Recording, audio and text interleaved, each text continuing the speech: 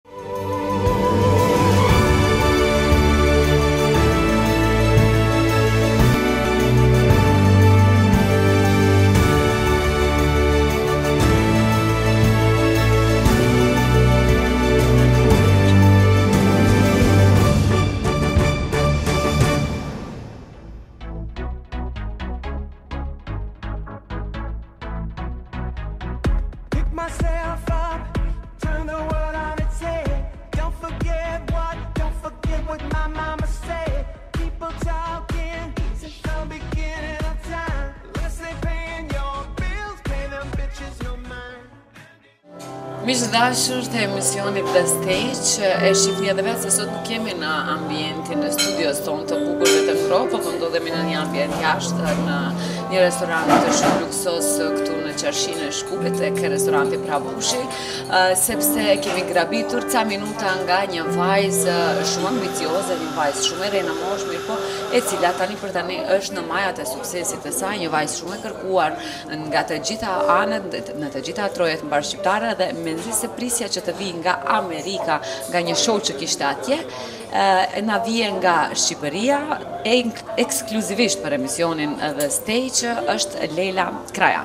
Leila, fillimisht faleminderit shumë që pranove ftesën të jesh pjesë e emisionit tonë.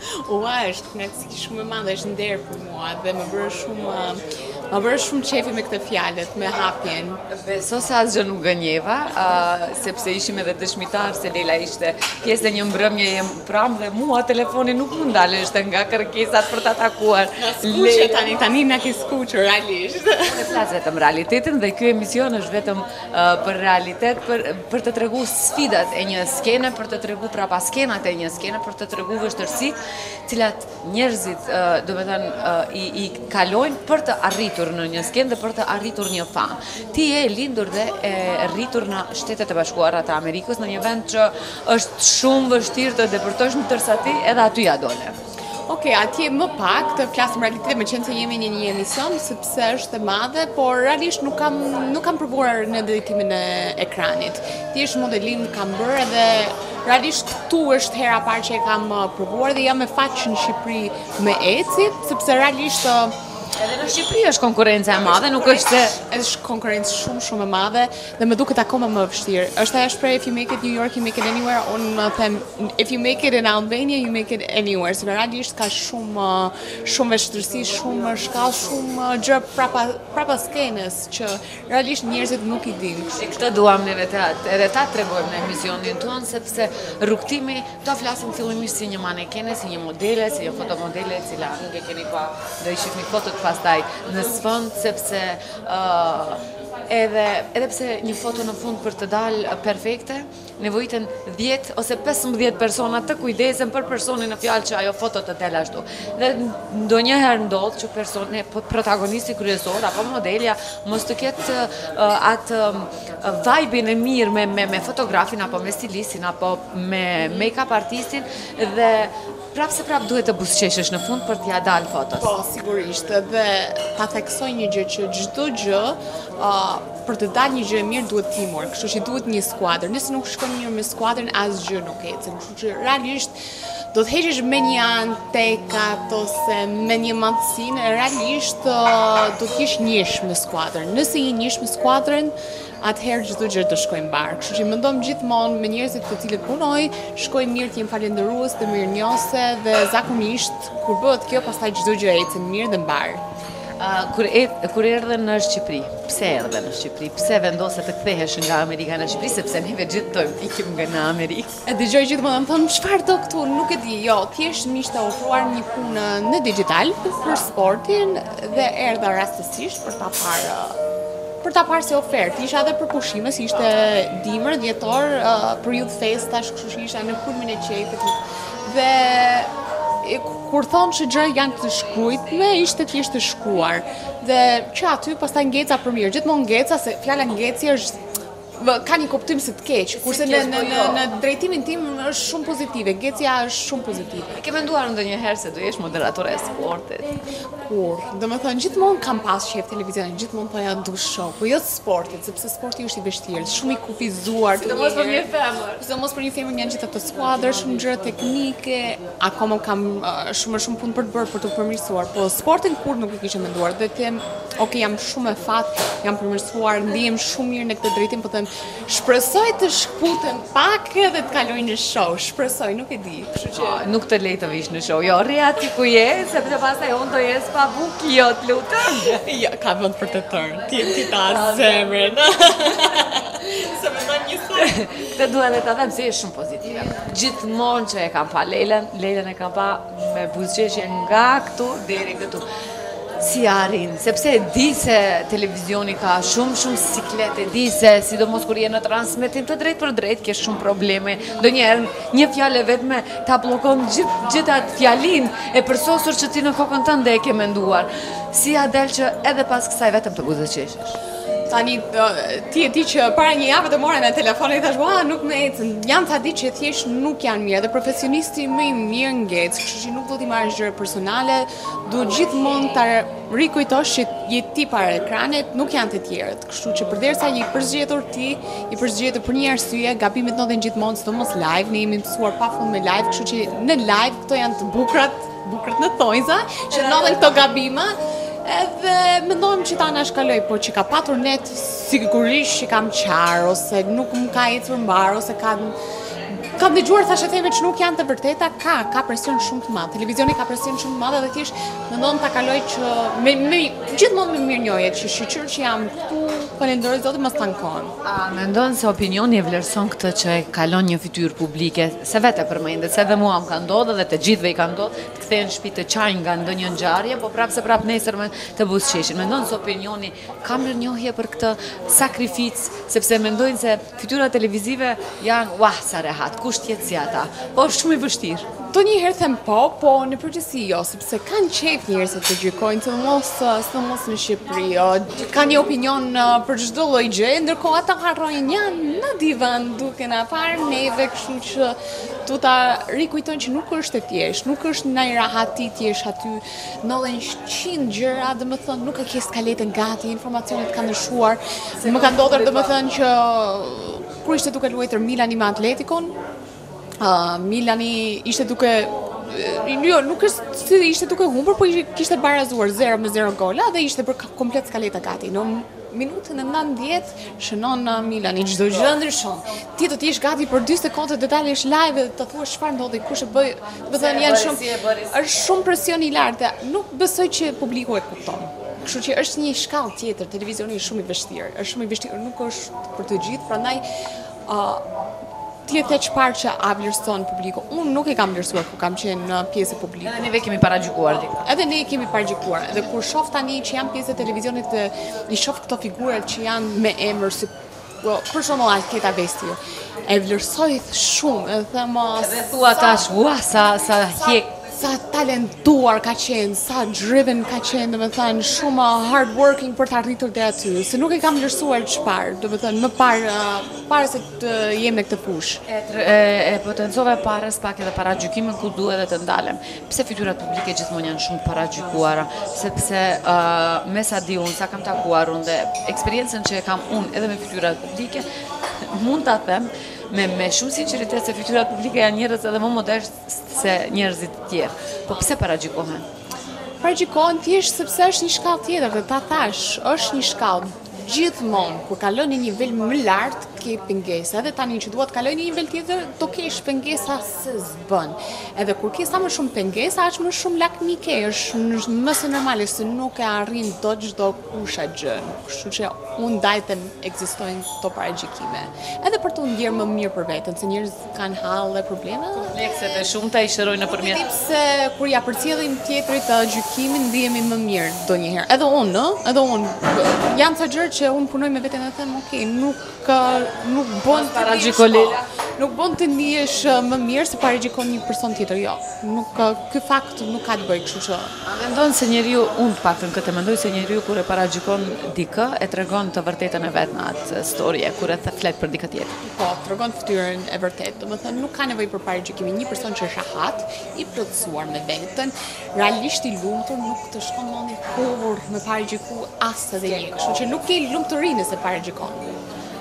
Lela, do i kthehem rrjetit social Instagram tëndit, i cili ka majat e suksesit. Uh, ke fotografi shumë të bukura të modelizmit, e flas po ashtu edhe të pjesës së televizionit. Ti edhe pse tani je pjesë e ekranit përsëri nuk ndalove së punuari edhe si fotomodele. Kamera të don shumë, je e bukur edhe shumë live drejtpërsëdrejti, si ia bën me djemt që të ngacmojnë. Nuk e di. Nuk e di akoma domethënë skuqem kur më ngacmojnë njerëz, nuk e di, nuk e di, nuk jam mësuar. Mendon ti je shumë modeste dhe me këmbë në tokë në këtë. Jam. Okej, e thashë vetë jam. Kështu që nuk e di si e përballoj. Realisht akoma skuqem edhe kjo është reagimi.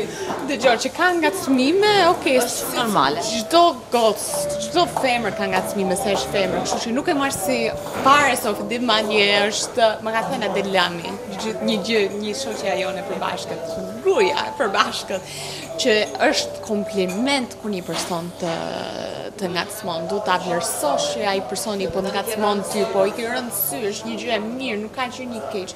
Kështu që gjithmonë e vlerësoj.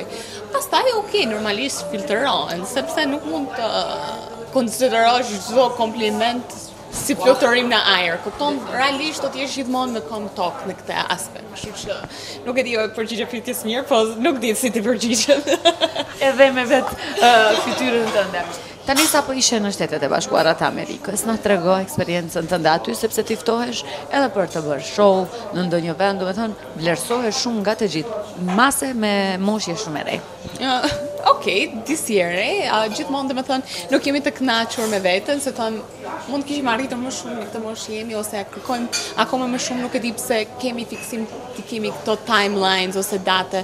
Më mirë mos bën plane, se planet pastaj uh, nuk realizohen. Nuk realizohen edhe na ecin më mbarë kur nuk kemi plane. Por, um, po, në Amerikë ishim në një event shumë të mirë, uh, për shqiptarët, Prap nuk jam e kënaqur them mundem më shumë. Po pastaj them nuk është mirë të kërkosh akoma më shumë. Kështu që deri këtu ku jam, jam shumë mirënjohëse, kemi arritur goxha me punë, kam punuar pa fund. Po akoma jam kështu e paqartë në drejtimin që të shkoj. Modestinë që ke, e ke të trashëguar nga familja, apo e vetë ke punuar me veten që ta, ta arrish këtë modesti, sepse sinqerisht je shumë modeste? Tani mami na ka mësuar këtë edhe nuk na ka thënë kurrë oh sa e bukur. Nuk je llastuar si një jo, fëmijë amerike. Jo, nuk jemi të llastuar, ti e ke parë vëllain tim. Po. Vëllai im është shumë i pashëm, më i pashëm uh, se unë, këtë mund ta konfirmojë çdo gocë që e ka parë në Instagram. Dhe realisht ai nuk e mendon veten të bukur, kështu që mami na ka mësuar këtë. Paraqitja nuk ka rëndësi. Shpirti është ai uh, që ka rëndësi dhe nëse shpirti është i bukur, uh, zbukurohet njeriu në maksimum. Se me fytyrën Në fytyrë mërzitesh, ti mërzitesh me një çun të bukur. Do diçka tjetër, kupton? Por ti kur lidhesh me një person për shkak të shpirtit, të zbukurohet akoma më shumë. Kështu që jam munduar gjithmonë të fokusohem tek shpirti. Bën udhëtime të shumta me Adelën. Ku nuk më marrin edhe mua. Jo, ti nuk të lën puna se ti e di je gjithmonë e ftuar ke kartë. E kemi tani. Po. Ë, në ato udhëtime shohim shumë pozitivitet dhe jam Unë për vehte që ju njoh marr një bindje se kudo që shkoni e gjithë gjithë ambientin aty e bëni që sytë të jenë të drejtuar kah ju. Po, tani Adela thjesht bie në sy. Ke parasysh njerëzit e kanë talent një gjë për shembull. Ashtu e kam përjetuar unë. Edhe ti e ke, edhe Adela e ka, domethënë janë ca gjëra që i ecin mbarë asaj. Edhe rënia në sy i ecën mbarë. Dhe qejfi i ecën asaj. Domethënë unë them me ty qejfi thjesht ecën, kështu që ajo e ka natyrale, Adela e ka natyrale. Ka një gjë të mirë domethënë shoqja thjesht njeriu që ke pranë, jo vetëm shoqja, të ndryshon shumë. Adela më ka ndryshuar shumë për mirë, siç më ke ndryshuar dhe ti të përcjell pozitivitet. Kur e ke një person pozitiv afër do do shkëlqesh gjithmonë. Do të kesh një nur gjithmonë, do biesh në sy gjithmonë natyralisht. Ma trego uh, momentin më të vështirë deri tani në karrierën tënde.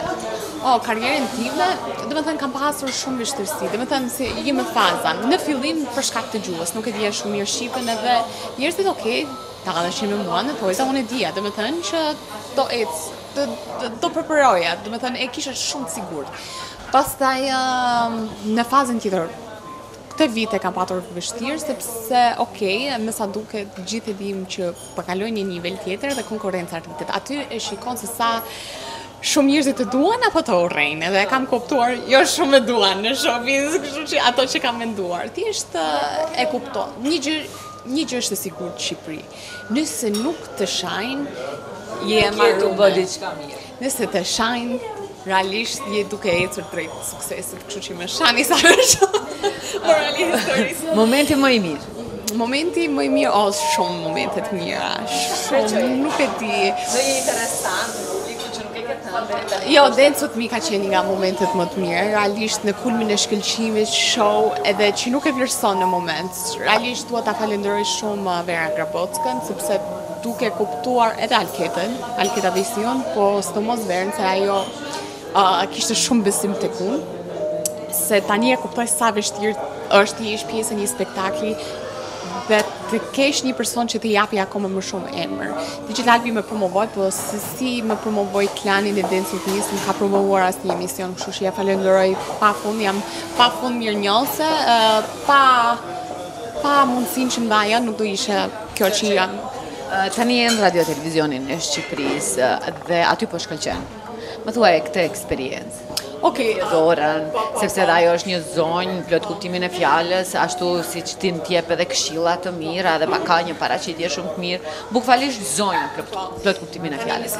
Isha në DigitAlb, për atë se DigitAlb është pjesë e Topit, dhe Ok, shumë mirë, ishte platformë. Tani jemi në televizion kombëtar, kështu që do mësosh shumë shumë, do gabosh më pak sepse nuk ke zgjidhje tjetër, është shkollë.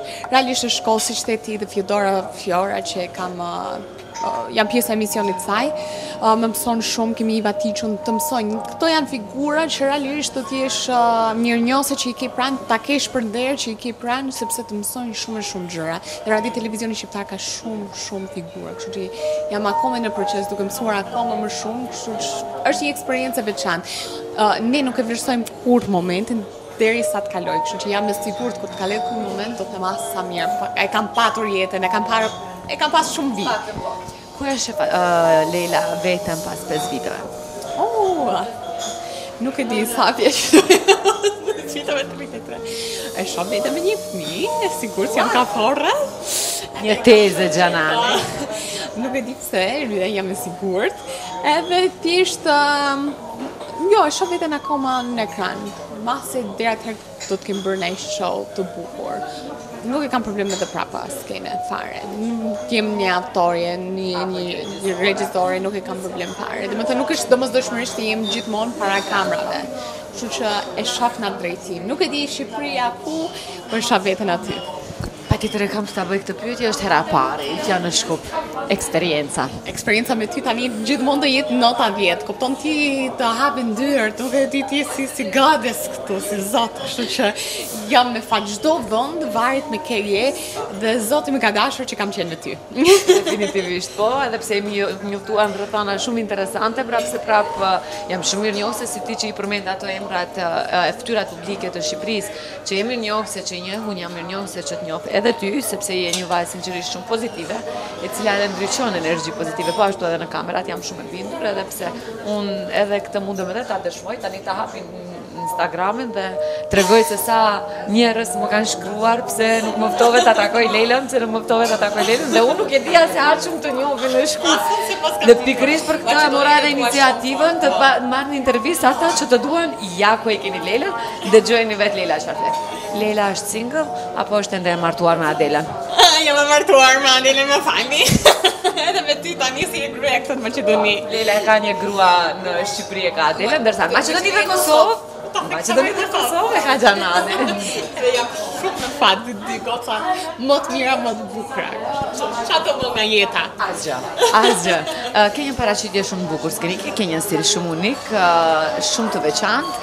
Të thjeshtë nuk je si unë dhe Adela?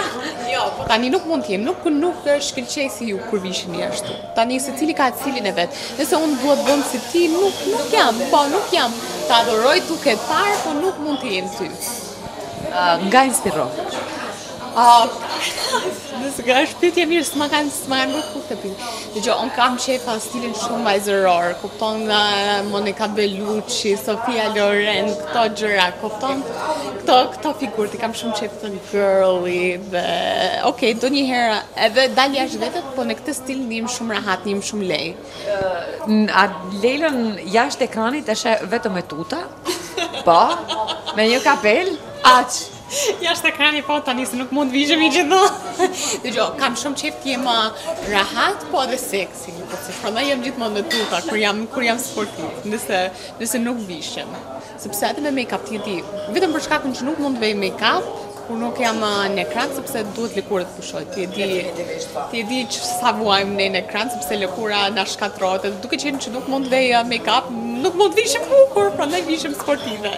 Uh, më thuaj, e shef veten ndonjëherë uh, Lejla duke prezentuar ndonjë World Cup apo European? A, në Shqipëri, Apo... Jo, jo, kudo po?